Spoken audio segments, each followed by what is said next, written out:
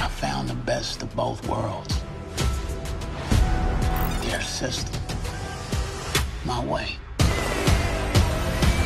What's up YouTube? It's your boy Marc Dark and I'm back with another video. If you're new, if you love Snowfall, go ahead hit that subscribe button, like the video and leave your theories, comments, everything down below. Now tonight we're going to be talking about Snowfall Season 4, Episode 1. This is the recap. Now I'm going to try my best to go over all the key facts. If I miss anything, you guys let me know down below. Now, just watched Episode 1. I'm going to watch episode two right after this recap. I want to give you guys my full perspective of this episode, and then we're going to get to the episode two recap, which will be probably airing um, probably an hour after this. So you guys stay tuned. But overall, episode one definitely delivered. You can feel the tension just from episode one, and you know that episode two that's when the fireworks are about to explode, in my opinion. So let's get to it. What did we see in episode one. Now, Franklin Saint, of course, he is recovering. You can tell that he's still going through some things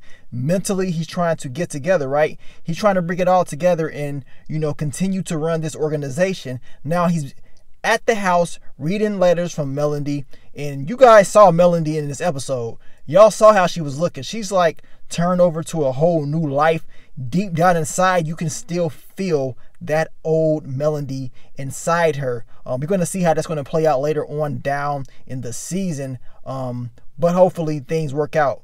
But we get to Franklin and he goes and he's having a conversation with Louie. He wants to know exactly what was going on, why he was out of commission. And, you know, Louie pretty much tells him, look, things went kind of south. I mean, a lot of violence happened. Um, but business with Teddy was going well. Wasn't no issues and everything like that with him. But this whole gang wars and stuff is bad for business. And uh unfortunately, it seems like one of Skully's boys has been dropped off once again and this is causing issues. So Franklin decides to go to the funeral and show his respects to Skully. Now, what Franklin wants to do is he wants to stop a gang war from happening. He wants all this to just end. He doesn't want this blowing up at all. So this is the real reason to me why he wants to show his respects and just to neutralize everything.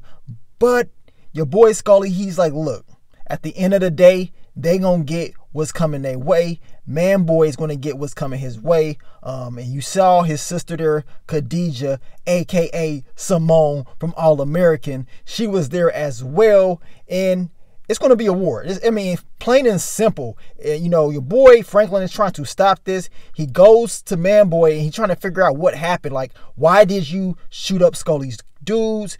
And of course, Man Boy is like, well, they came at me first. That's why I came at them. And if they come back at me, it's going to be a war. I'm going to go back at them. So Franklin understands this. He's got to figure out a way to neutralize this. And as I told you guys in those prediction videos, the Man Boy versus Skully video that I did, um, it seems like a lot of that stuff is coming true, especially in this episode and how everything was running, right? Now, Franklin wants to get advice from Teddy. He actually wants Teddy's help, but Teddy is pretty much telling him, pick the less of two evils. So this is why I was talking about in the past that Franklin is pretty much saying we got to pick between Man Boy and Skully and who is the less of the two evils. So this is the conversation that happens within Franklin's organization. He's going to take this advice and use it for his strategy. I mean, this stuff is getting crazy, man. Now we get to, of course, the reporter, Arlene. Now she's trying to figure out exactly all the details of what really happened to Melody, what happened to Franklin, what happened to Officer Wright. She wants to know everything. And she is, of course, from this neighborhood. She wants to go back and get all the details. So we're going to be seeing her throughout the episode try to get these things together. Now, Gustavo and Teddy, their truck is pulled over. We see the drugs drop out, and it's all bad news, right? But we know when we're talking about Teddy, he's always able to get out of things. We, you know, and later on in the episode, we find out more details about what's going to happen within them and getting pulled over with the truck. Now, Franklin does go and have a conversation with Leon. We come to find out that Leon does not want to work with Louie. He does not want to take orders from her. He's tired of driving Franklin around. Pretty much, Leon just tired of it, all of it, all right. He doesn't want nothing to do with working with Franklin and taking orders. He feels like he's doing what he has to do. I mean, he was just clapping some girl's cheeks up in the projects. He's cool as long as he can run his projects. He don't want nothing to do with what Franklin is trying to bring his way. Franklin understands that Leon is going to a whole new path and everything ain't the same no more, man. Um, this relationship is completely different. Circumstances have changed and this is just something new for Franklin. He has to pretty much take all this in. He understands that he's going to have to make some decisions down the line when it comes to Leon and his whole organization on how things are working, right? Then we get to the more details about what's going on with Teddy and Gustavo. Apparently, these officers in Mexico, of course, they want a cut. And pretty much they're going to have to pay them exactly what they want because they don't really have a choice. This is what was in the description a pipeline issue. Now they have to handle this. Gustavo understands we have to pay this man whatever he wants to stop this issue. I'm going to tell you right now, this ain't the last time that you're going to see this officer. And I got a feeling he's probably going to want entirely too much. And I think your boy Teddy and Gustavo are going to have to take care of business down the line. Now we get to your boy Booty. Man Boy's dude has been set up in, as he said earlier, if something happened to one of my dudes, it's going to be war. Now, Booty, at least he ended it well. He was getting topped off, and then all of a sudden, he's getting kidnapped. And it seems like the person that kidnapped him was Chrome Rose. And if you was paying attention early on in the episode, your boy Skully was asking Franklin how hard was it to keep Jesus on the cross. And he was asking that for a reason. This dude is doing some some very graphic stuff. I mean, it's so graphic, I can't even show you the full picture. Trust me. I mean, this stuff is crazy, right? They have to realize that this is very serious. This game wars is very serious. Skully wanted to prove a point that he's not to be messed with, and he wants Manboy to understand that he is coming for him and his organization. Now, they have to pick between the two, right? Uncle Jerome is like, look, I ain't messing around with no Skully. This dude is uh crucifying people. I ain't got nothing to do with that. I ain't trying to get caught up in none of that crazy stuff. Um, but Aunt Louie is pretty much saying exactly what I said in my predictions video about Manboy and Skully. That Skully has been loyal no matter what. Yeah, he is crazy. You know what you're going to get out of him though. But with Manboy, eventually he wants to take over. We know Manboy wants to take over down the line, and that's the problem. So now Franklin has to figure out a game plan. The whole thing with him is this setting them both up, which could be a high risk. He has to set both of them up to take them out of the game. And he, you know, decides to pick Skully. He drops off the guns. Now, he of course he wants to help out Skully because he feels like, well, if they get into a, a you know, a war or a little small exchange, maybe Manboy and his crew can be dropped off and things can be eased out. He's trying to make Skully believe that he's down. He's told Skully, "Look, you've been loyal to me, man, boy. He wants to want. He's going to want to want all the territory, all the power, and everything like that. I can't have that. So ride with me." Then we see Simone. I mean, no, Khadijah. Um, we see her in man. Every time I see her, I can't stop thinking about All American. But she's down for the cause as well. I mean, she doesn't care if Skully takes down Manboy at all, right? That's what it seems like.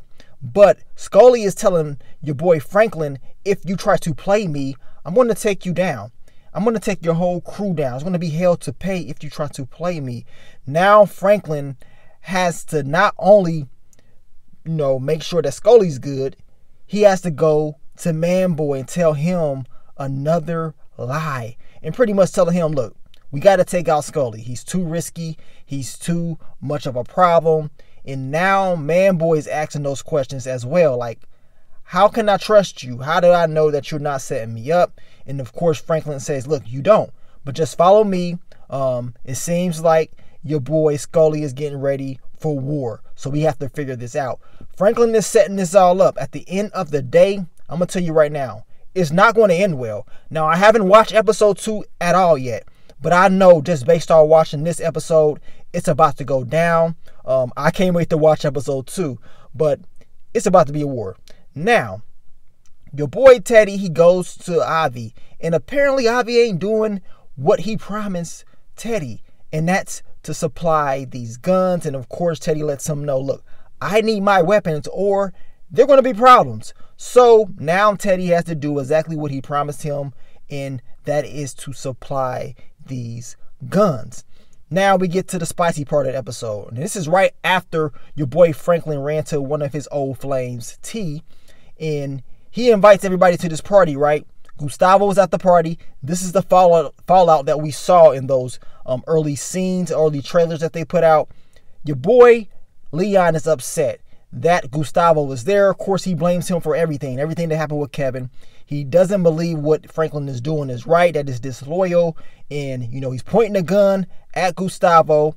Franklin steps right in between the two, and now he's pointing a gun at Franklin. And then Franklin, of course, tells everybody to leave. He tells Gustavo and Teddy to step out. He has a conversation with Leon. Leon is like, Look, I'm done with you. And Franklin's like, All right, fine. You know what I'm saying? Cool. Um, Leon is going to do things his way. Franklin says, Look, I'm not supplying you um, at all. Find a new plug. Do what you got to do. So, as of right now, the two are not on good terms. It did not end well. We know in episode two, just based off the description, that Leon is going to go through some struggles, right? Now, during this conversation, right after it, we saw some mental issues with Franklin kind of reminded me of your boy Spencer from All American. He having some mental issues. Um, he's holding his chest. You know, of course, he was shot, but this is getting to him, man. At the end of the day, he did not want this to play out like this. He really wished that Leon would be cool, that he will grow from all of this, but no, it's just not over for him in his mind. And Franklin understands he can't control everything anymore. Now, we get back to Arlene and she wants to get some information out of Melody. She's looking crazy as hell in this picture, but she wants to know more details on what happened to her father, Franklin, and what happened to her. She disappears. She wants to know if she had anything to do with it. What are the details? And of course, Melody's aunt is like, look, she didn't do anything. Franklin said he don't know who shot him, which we pretty much predicted that Franklin was not going to snitch at all. I mean, it makes no sense for him to do that. It's not in his code to do that. But during the conversation, we, we can tell Melody, Melody is definitely more holy, but deep down inside, you can see the old Melody burning inside. You can see that old Melody wanting to come out and wanting to speak up. Later on in the season, I think that's going to happen. We're going to see more Melody. I just don't know how much more we're going to see of her, right? Now, we get to the build up. These boys are getting ready. The crews are getting together. They're about to go to war. It's about to go down. This is what Franklin Saint has set up. He understands that this is about to be a major move. He goes in and he gets his strap because he feels like he may lose his life. Now, this is just me from my perspective. It seems like Franklin is understanding, like, man, I could go tonight. Yes, I'm trying to stop this huge gang war. I don't want this to blow over, but I got to do what I got to do to make sure everything is good. Now, of course, Franklin Fathers comes out. He understands what Franklin's about to do. He sees him take the strap. He understands that something bad may just happen. And of course, he start talking about Bruce Lee and stuff like that. About them just stand, you know, Franklin just staying home watching some movies, old school time. You know what I'm saying? He's trying to bond with his son. He wants to protect his son. You saw the tears come in Franklin's eyes. It was almost a sense of Franklin was feeling like, man, you know what I'm saying? I may just die tonight, Pops. I love you, man. I mean, you, you did what you did. Um, you want to protect me, but I have to go handle business. And Franklin understood this. Um, I'm eager to see what's going to happen in, in episode two, man. This was a very touching scene to me because, in a sense, it was almost like Franklin really did want to stay with his pops. He wanted to kick it, and he was reminiscing about the past, him, Leon, and you know the story that his pops, was telling him. But Franklin has to go out there and finish what he started, and this is going to be a hell of a journey for him. This is just the beginning, man. Episode one definitely delivered in in this episode, it really was a build up for what's to come in episode two. It's about to go down. It's about to get graphic. Um, I'm about to go watch episode two right now, and you know, get ready for it, man. But you guys, let me know, man. What do you think of, of episode one? Leave your theories, predictions, everything down below, and you know, we definitely gonna talk, y'all. I want y'all to stay tuned. Episode two recap will be dropping probably in about an hour or so. I'm about to watch it right now. But thank you guys for all the love, all the support. We back. It is Snowfall season four. It is time once again to get back to it. But thank you guys for all the support, all the love, and I will catch y'all very, very soon. But let me get on out of here, man. It's your boy Marc Dark. I'm out. Peace.